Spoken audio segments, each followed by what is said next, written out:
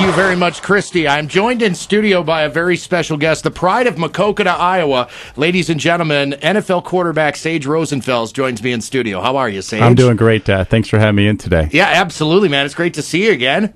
It's a beautiful day in the Midwest. I was uh, driving through town actually from Iowa City. I was working Tim Dwight's football camp today. Oh, cool. And uh, heading to Omaha for, for a couple of weeks. So uh, it's great to have a chance to stop in. Absolutely, and uh, we're here obviously because uh, you got a big event coming up on uh, Friday, July eighth, at the uh, TCI Golf Course in Polk City. Yeah, I've got a couple events here. You know, Kyle Orton and I uh, we did our first football camp last summer out at Southeast Polk, and we're doing that again this year, July 9th and 10th. But mm-hmm. this year we're adding a golf tournament on July 8th. Uh, Golfing for Miracles is, is the website, golfingformiracles.com, and and yeah, it's, it's gonna be it's gonna be a blast. We're raising a lot of money for, for charity, and, and we're gonna have a lot of celebrities out there, some NFL guys. I think Kyle Korver might make it out. I just talked to him yesterday. So uh, gonna be gonna be a fun time, and uh, hopefully a lot of people can join us. Yeah, golfing for miracles benefits the Children's Miracle Network and also the University of Iowa Children's Hospital as well. So going to a great cause.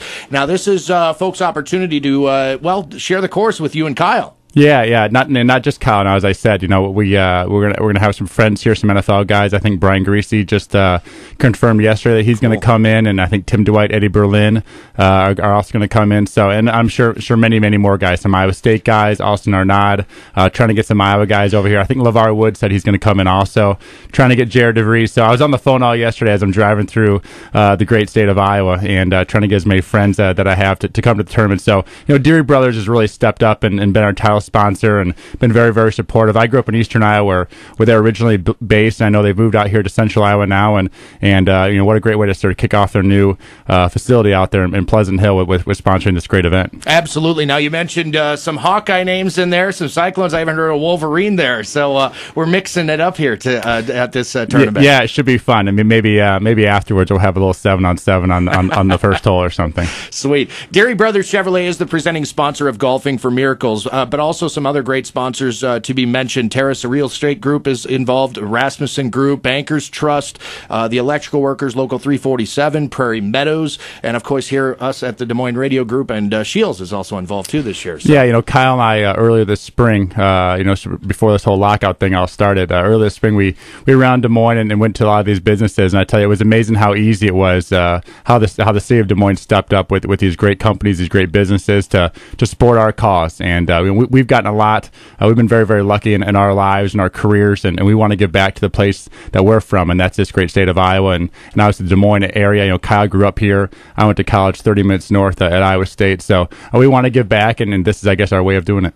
It's not just uh, the money for the charities, but they're also getting a lot out of this, too. It should be mentioned, in addition to a round of golf with cart at TCI, which, by the way, is a beautiful course. I don't know if you've ever seen it. I haven't played it, but uh, I, I, keep hearing great things. It is. You also get lunch and dinner, your photo taken with Sage and Kyle, a Golfing for Miracles polo shirt, a chance to win a 2011 Chevy Cruze from Deery Brothers Chevrolet, and an opportunity to bid in a silent auction featuring NFL swag. I understand you got a bunch of that stuff. Yeah, you know, I've been sort of collecting things, uh, as I said, uh, this spring. There, has been some nice things and negative things to this lockout. One of the nice things, I've had a little more time to, to focus on this event and, and collect things from around the country. Actually, Kurt Warner just sent me a ball yesterday and uh, and that type of stuff. Chad Greenway, I just got a ball signed from him yesterday as I left uh, Minneapolis. So we're, we're going to have some good good things there. And, and again, uh, one, I want everyone to have a lot of fun and two, we, everyone knows why we're there, and we're there to raise money for for children, and which is uh, you know I think dear to all of our hearts. Absolutely, it is. That's going to be a busy weekend for you guys. Friday, July eighth, of course, is the golf tournament, golfing for miracles at TCI in Polk City. But then you mentioned as well your football camp with Kyle Orton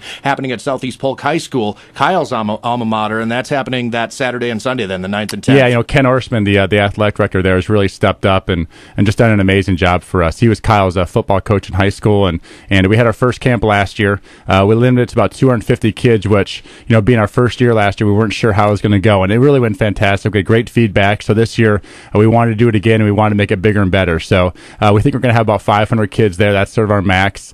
Uh, probably 250 younger kids, 250 older kids. And, and uh, again, it's out, at, out at, the, out at Southeast uh, Polk High School on July 9th and 10th. I think it starts around 8.15 in the morning on, on the, on the 9th and 10th. And, and the older kids are in the afternoon around 11. So we should have a great time. Again, have a lot of, we'll have a lot of young coaches out there as well. I, you know, I, said Tim Dwight, Eddie Berlin, going to have some Barnstormer guys out there, some Iowa State guys out there, some some current players at Iowa and Iowa State, cool. uh, and obviously some former guys. So should be a great mix. Sage Rosenfels is my special guest. Now, Sage, you're a quarterback for the New York Football Giants. Uh, you were a quarterback for the Minnesota Vikings, which happens to be my team. I'm from Minneapolis, and I got to say, man, I, this, I, I, have to take the advantage of, of, having you here in the studio and the opportunity to say to you, God, we miss you, Sage. Yeah, you know, it. Uh, I tell you, I was there. I was just there for about a year, year and a half, only yep. one season and uh, I, I, personally had a great experience. Uh, you know, they, they do really do have a fantastic owner and Zygi Wilf.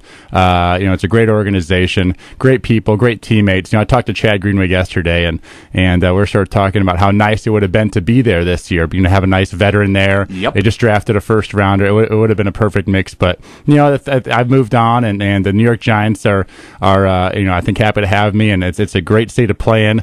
Obviously, being in New York is a, is a once in a lifetime experience. You bet. Uh, I've gotten to obviously work with Eli and, and, know him really well and become good friends with him and, and take his money on the golf course and all that type of stuff. So uh, it's it's been a, it's been a great experience. We had, we had a pretty good year last year, ten and six. Yes. Uh, it's you know obviously with the competitive uh, league that we have, it wasn't good enough to make the playoffs, but uh, you know we think we have a huge advantage. I think this year uh, being that you know there's so many teams that have new coaches or new coordinators. You know they've had the same staff there for about seven years. Uh, a lot of the players are, are, veterans of that team. So you know with this whole craziness with the lockout and that type of stuff, we do feel like we we're going to have a little bit of advantage over some of these other teams. Hakeem Nicks, he is the man. Yeah, I tell you what, the guy wears uh, size 4X gloves, and uh, it's, it's amazing that the catches that he makes, the hands that he has. So you know, he's he's got some he's got some faults, and we're trying to you know we're trying to work on some of the things that he doesn't do well. I mean, he does a lot of things. Where Obviously, he plays the ball probably as good as anybody mm-hmm. uh, in the NFL, and and uh, you know the fade routes and the go routes and all that type of stuff. So we got to work on some of those other things. But he's a great guy, works hard, and uh, I think he's going to have a good good good year again this year. He plays uh, like he's about six eight, and I think he's only about six feet tall. So. Yeah, he's really not that tall. Yeah. You know, it's one of those guys like Chris Chambers. I don't remember that name, a Wisconsin Badger. He was only That's like five right. eleven, but yep. everyone thought he was about six four. So uh, he's one of those types of guys. Oh, big! Uh, this is really cool to have you in studio again. An honor to have you here, and we look forward to some great events coming up in early July. Again, golfing for miracles is uh, Friday, July eighth, followed by the uh, Sage Rosenfels and Kyle Orton passing camp the 9th and tenth at Southeast Polk. Again, thank you very much for your time.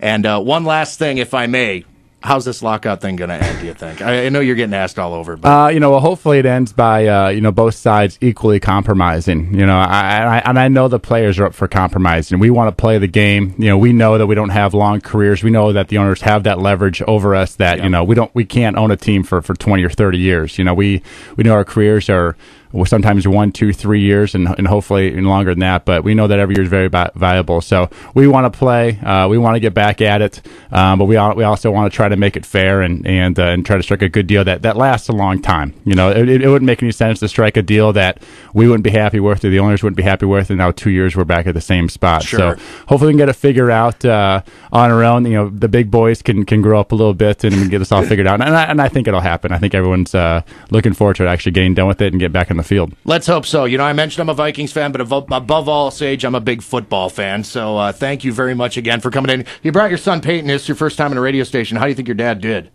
Uh, I think he did pretty good. I think your dad is a pro in more ways than one. That kid sure is handsome, isn't he? Yes, he is. Good looking kid, too. Yeah, Good looks just like me. thanks again, Sage. Thank you so much and best. All the best to you and your family. Again, thanks for having me on. Absolutely. Back into the rock block, ladies and gentlemen. Alice in Chains. Here's Would on Lazer 103.3.